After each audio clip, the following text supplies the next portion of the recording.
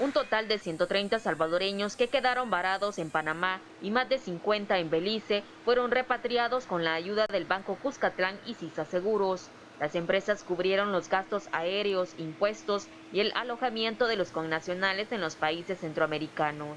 Estos salvadoreños, muchos de los cuales ya por el tiempo que habían tenido que estar fuera del país, tenían muy escasas posibilidades de poder costearse el viaje de regreso a El Salvador.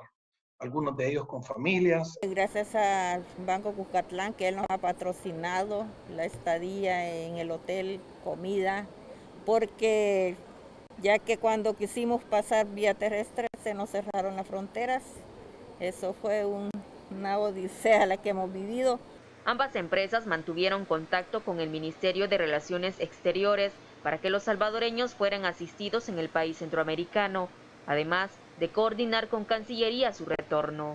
Eh, hemos trabajado esto muy de cerca con la Cancillería de la República y con la Embajada de Panamá, de El Salvador en Panamá.